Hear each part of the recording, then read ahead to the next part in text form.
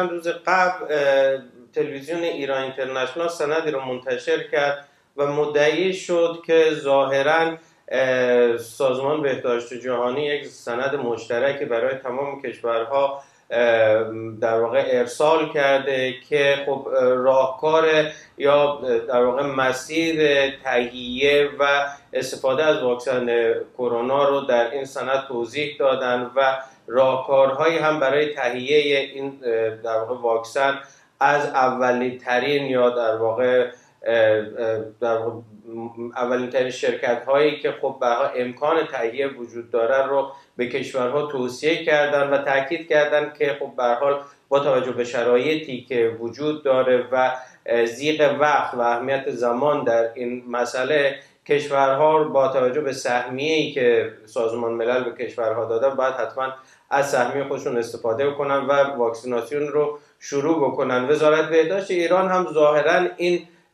سند رو در واقع تنظیم کرده اون رو تایید کرده و آماده اجرا بوده که آقای خامنه‌ای بلافاصله وارد داستان میشن و هر گونه تهیه هر گونه واکسن انگلیسی و آمریکایی رو ممنوع می‌کنن. هرچند آقای روحانی روز بعدش صحبت از این کرد که ما واکسن ایمن رو از هر جایی که باشد تهیه می‌کنیم. اما طبق معمول خب طبیعتا وزن و قدرت آقای خامنه ای ظاهرا چربیده و تا آقای نمکی وزیر بهداشت هم اعلام کردن که منطقی نیست که ما از آمریکا واکسن وارد بکنیم یا در از واکسن اونها استفاده بکنیم.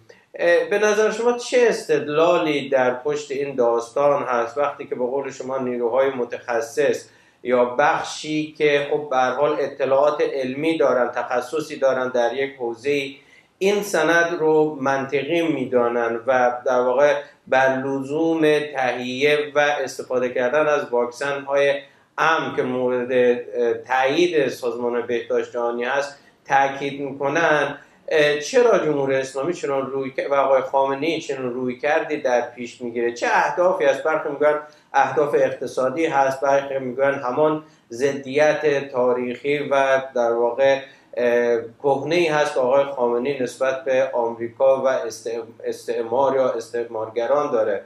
به نظر شما چی هست علت این داستان؟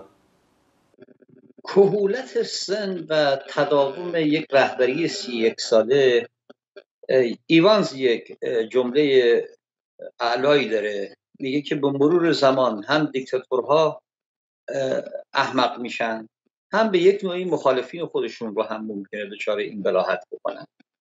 این بلاحت مدیریتی که الان کل ساختار استبدادی نظام جمهوری اسلامی رفته خب اولین سوالی که به ذهن مخاطب میاد می‌تونه این باشه آقای خامنه یک مسئله دو, تا چهار تا شما 300 درصد اجازه افزایش بنزین رو دادید. و اون وضعیت پیش آمد که صدها نفر کشته شد تو ایران. بعدش هم آمدی با لب خندان و دلی شاد در یک جای عمومی گفتید که من تخصصی که نداشتم در این امور. سران سقوبه گفتن که این خوبه ما هم تایید کردیم ولی دشمنان آمدن که از این قضیه سو استفاده کنن به حول قوه الهی چیز کردن. ما تونستیم اینجا نظام اینجا رو جمع بکنیم. حالا سوالی پیش میاد که آیا خامنه این, این بار این تخصص از کجا پیدا کرده؟ یا این بار حرف کجا رو گوش داده؟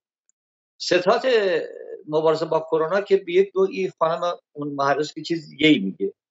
برخی از بدنه های مهم وزارت بهداشت درمان و برخی نهادهای پزشکی و علمی کشور و حتی اون نامه معروف و جسورانه ای که بعد از سخنرانی آقای خامنه ای شد نظام پزشکی ایران حالا درست ایشون رو مخاطب قرار نداد ولی تلویحا خطاب به ایشون بود.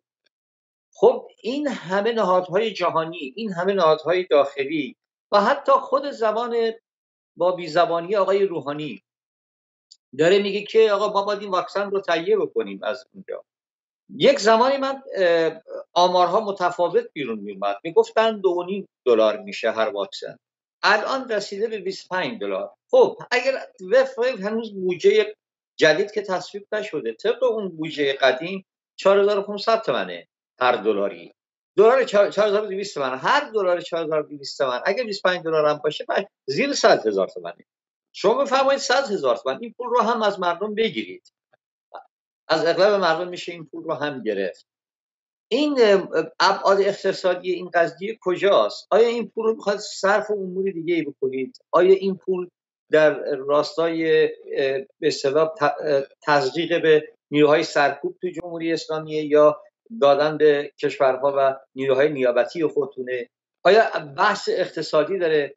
آیا بحث همون پوز می‌خوای ضد استکباری خود رو که به یک نوعی اینجا هم نشون بدی و فارغ از این که جان میلیون ها هزاران انسان اینجا به خطر بیفته.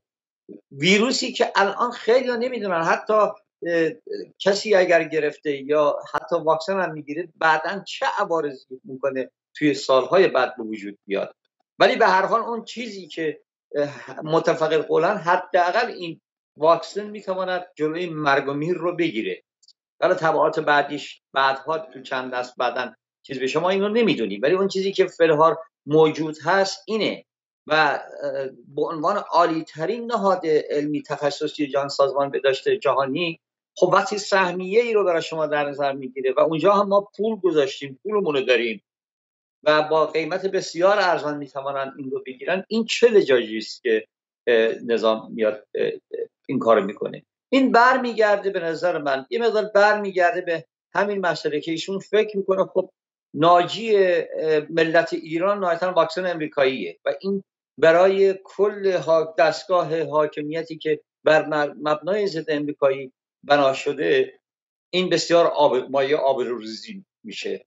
در حالی که خود آقای خامنه‌ای همون میکروفونی هم که دستش هست همون دوربینی که داره پخشش می‌کنه ایشون باید بدون بسیاریش امریکایی هستن. اینا همه از سرزمین دار دارالکفر اومدن. هیچ کدوم از سرزمین های اسلامی نیومدن. حتی اون لباس امامه عبایی که تنش می‌کنه تکنولوژیش تهش می‌رسی می‌بینی از جهان کفر اومده. آقا این چه منطقیه؟ که شما به خاطر اینکه نشان بدهید که جامعه ایران بعد از چهل سال یا جامعه ایران نه یعنی حکومت ایران بعد از چل سال حفظ استقلال و مبارزه با استکبار جهانی نیازمند این نخواهد شد که برای واکسن به اونجا روی بیاره. این به اعتبار این شعار به اعتبار این مسیر و موازهی که ما داریم لطمه سختی می‌ذاره. تو این وسط هم حالا مردم هر برای سرشون میارن جهنم. ولی من تردید ندارم. آخوندیسم آخوند برای بقای خودش برای حفظ جان خودش و برای اینکه حفظ کیان و بیزه اسلام رو خوب مکم حفظ بکنه ستون اسلام رو حفظ بکنه قطعا اینا رو برای خودشون من می‌دونم زدن. این که میگم می‌دونم زدن من دلیل خاصی ندارم ما بر مبنای اینکه میگم حفظ نظام اوجب واجباته و حفظ جان از همه مهمتره که نظام رو حفظ بکنن بر مبنای اون دستگاه توجیگری خودشون احتمال قوی من میدم که اینها خودشون واکسن رو زدن. و این که در مرز عمومی میان و ماکس می‌زنن و اینا خیلی باور من ندارم شخصا.